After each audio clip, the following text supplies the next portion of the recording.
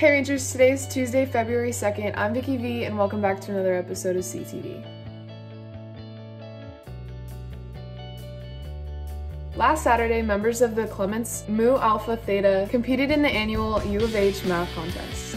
Clements has won first place 12 out of the 17 times we've competed. Here are the results and make sure to congratulate all the students. Clements was fortunate enough to have two student athletes who were nominated for the 2021 Student Athlete of the Year Award. Our representatives are Taylor Michaud and Joseph McGuire. Congratulations, guys. Click the link below and make sure to vote for them. Now to Paulina and Fernanda. Hi, I'm Paulina, and today we're here with Issa and Andrew. and today they'll be competing in the CTV games. Hi, um, I'm Issa, and I think I'm gonna win because I'm just better at Andrew and everything. Um, I'm Andrew, and she's not going to be winning today. I'm going to be winning because I'm stronger, faster, and smarter, and there's just no way she's going to win. Our first challenge of the day is a basketball challenge. So the first person to make a layup, a free throw, and a three-pointer wins the challenge.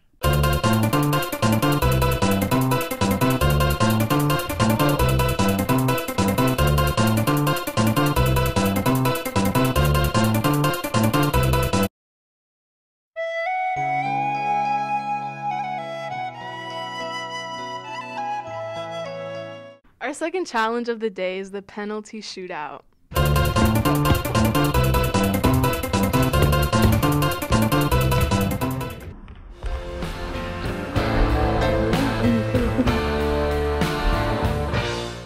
And here we have Issa to explain our third challenge of the day. The third challenge is dodgeball, so the first person to catch the ball or hit the other person wins.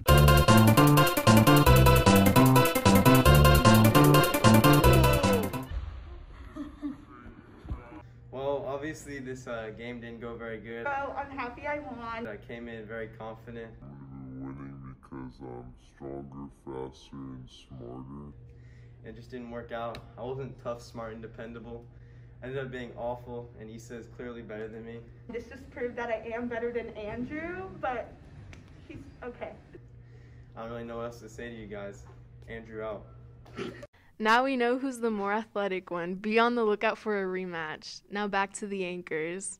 Thanks, guys. Varsity Girls Basketball plays Wednesday at Austin at 7. Varsity Boys Basketball plays at Clements versus Austin at 7 on Wednesday, and again on Saturday at George Ranch at 1. Varsity Girls Soccer plays Wednesday at Travis at 7.30, and again on Saturday at noon on the Ranger Field versus Austin.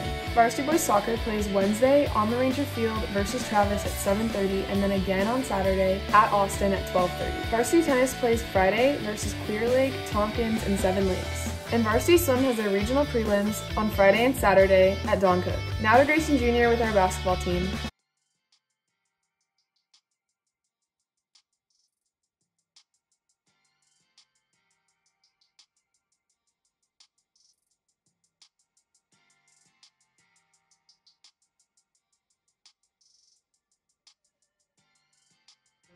Um, I'd say the season's been different this year just due to schedule changing and not being able to play certain teams. Yeah, so in regards to COVID, we're doing the best we can. We're trying to distance as much as we can, and we're filling out the forms every day. And we try not to go out to make sure our season stays intact.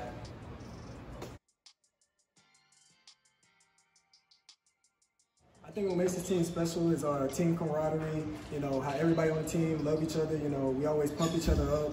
You know, it's always positive energy around everybody. Uh, I feel like a special moment this year is when we played Austin uh, away because uh, we won big and uh, everyone got in and everyone was cheering each other on. It was a fun game.